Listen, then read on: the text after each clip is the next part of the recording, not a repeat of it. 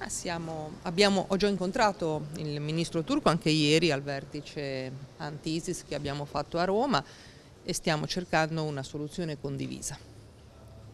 Confida che si troverà una soluzione a breve perché Erdogan è stato abbastanza vocale, diciamo. Stiamo parlando, pensiamo che la nostra volontà è trovare una soluzione condivisa, abbiamo aperto tutti i canali diplomatici eh, per eh, arrivare a questa soluzione condivisa che speriamo in tempi brevi.